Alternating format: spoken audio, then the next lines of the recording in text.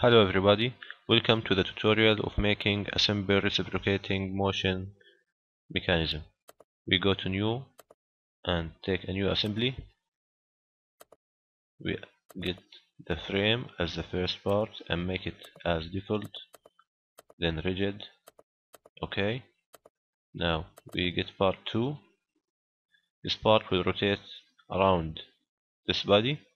So we take a pin connection between this cylindrical surface and this then we need to make this surface to be coincident with this surface. Then click OK. We get this part again and the same. We get a pin connection between this and this. Now we need to make this surface coincident with this surface. Then click OK. To have a reciprocating motion we need this hose to be one in this position and one in the lowest point. So we edit the definition of this part. I'll go to placement to rotation axis. Now we take this point. It's in the center of the hole as a zero reference and we click here and take this surface to be a reference from the assembly. Now we can control the initial position. So let's take this to be 0 it's in the lowest point. Then we set 0 position. We enable regeneration value. Then click OK. Now if we drag this component and click regenerate it will go back to its initial position that we defined. So we go we click regenerate. Okay the default for this so we click regenerate now. We need to make the same for this. So we edit its definition and go to rotation axis. We take its zero reference from this point and to the assembly to this. Now let's set this to 180 and make it regeneration value and set it as zero position we enable the regeneration value then click OK. We edit its definition rotation axis. I'm sorry. We take this as 0 set regeneration. I think this is fine. So we drag this component and also drag this and now we regenerate the model again to check. This is in the lowest position and this and this in the highest. So now we get the third part.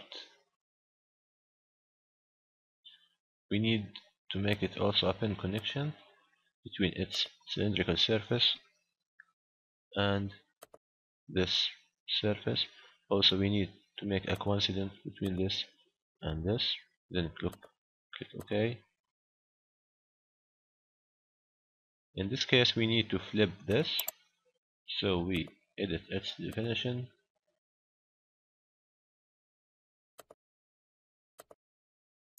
We remove this and remove this. So we take this surface to be coincident with this but we flip it. Okay we get it back take it back again. Pin connection between this surface and this. Now we take this surface to be coincident with this. Then click OK now the last part. Okay. Now from here we take a planar we need this surface to be planar.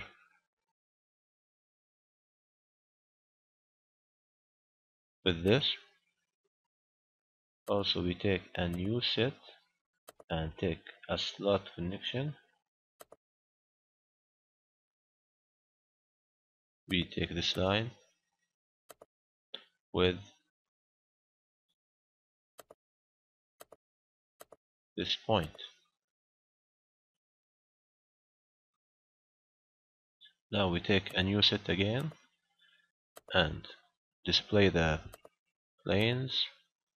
We need this plane to be always coincident with this plane. Then click OK. If we try to drag this component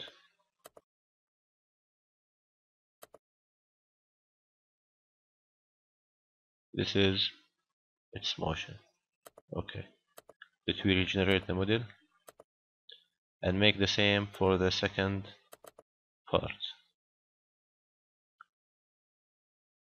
so we flip this and take a planar between this surface and this. Then we take a new set with a slot connection and take this.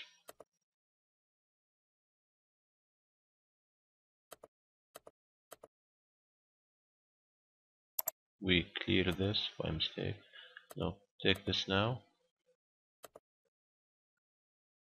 We activate the point display and take this point. Now we take a new set and activate the plane display. From here we take coincident and take this plane to be coincident with this all the time. Then click OK we try to drag this component. Note the motion. We regenerate it again. Then we go to applications mechanism. Now we need to define a servo motor in this connection. Let the type to be velocity applied ok and another servo motor on this connection the same magnitude then click OK. We go to mechanism analysis set this time to be 20 then click run.